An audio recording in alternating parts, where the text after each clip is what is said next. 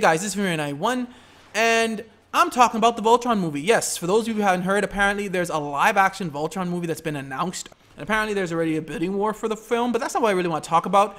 I want to talk about, once again, how I think it's a bad idea to take mech animes and make them into a live-action. Yes, there may be some exceptions, but I think the problem with mechs in anime in general is that mechs in anime, what they be doing in anime it's it would just be really hard for them to bring that to the live action. I think, even with a high budget and really good like um, CGI or whatnot, I think it would just be really hard to bring that to live action. And because we know in anime, like it's not like Power Rangers. Yes, Power Rangers has mechs, but the mechs move like you would expect mechs to move if mechs were like real.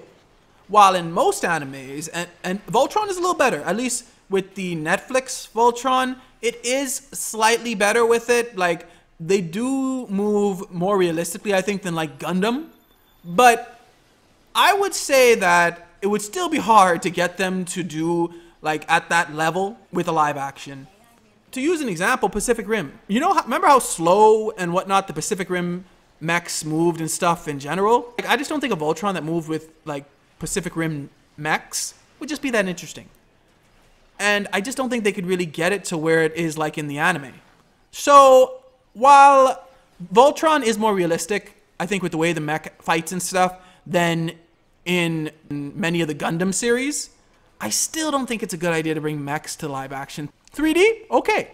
But live action, no, not in my opinion. What do you guys think? Do you guys think they could actually make it work for Voltron live action? Let me know in the comments below. Thanks for watching. Remember to like, share, and subscribe, and may God bless you all.